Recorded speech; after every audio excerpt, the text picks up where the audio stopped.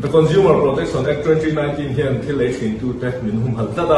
he dan in consumer ti da chu mani mi mal e le ba le hana ta na mi tu zo bai chin ta hi consumer ni a